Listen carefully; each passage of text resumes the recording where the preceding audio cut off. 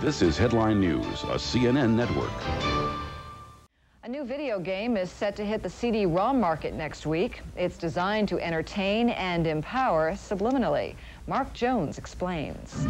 This is my, this is me. This is my light body. That represents me, and I'm moving it around on the unified field, which to us is a metaphor for life. The game is Endorfun, kind of a Rubik's Cube Tetris theme park. It's really 42 games in one, with over 1,000 skill levels. Endorfun is said to be the talk of Europe, not just for its original music and mesmerizing play, but for its hidden subliminal messages buried in the soundtrack. I am healthy.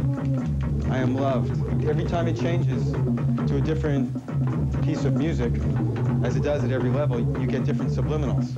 And we realize that perhaps there's an opportunity here to do just more than create a game, a, a piece of entertainment to create something that could actually empower people, help people, change the world. Endorfun goes on the U.S. market Tuesday, October 17th. 42 games and 100 subliminal messages. The difference between Endorfun and, and any, any, any other game or any other entertainment product is that you know what the messages are. Correspondent John Blackstone shows you what we have in mind for tonight's Eye on America. Though the subliminals are hidden, Endorfun doesn't hide the fact they're there. It's one of the game's selling points. You play more, you feel better. It's part of a new wave of subliminals that comes as computers and digital technology have advanced techniques for hiding sounds and images. There's no question subliminals have become big business. In Santa Rosa, California, John Blackstone for Eye on America.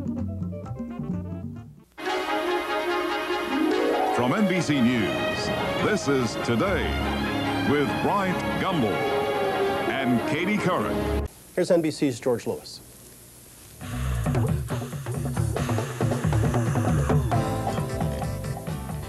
The developer of this video game, Endorfun, says it is designed to be mesmerizing.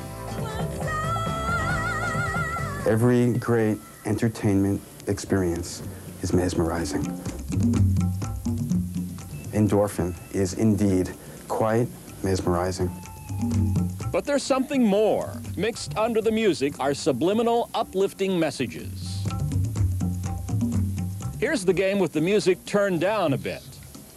All is well, is well, is well. Expect the best. I am at peace. Why did you decide to include these messages in the game? Why would someone put vitamin C in orange juice? Why would someone put vitamin A and D in milk? To make it better, to make it a wholesome, healthy, uplifting experience. For today, George Lewis, NBC News, Los Angeles.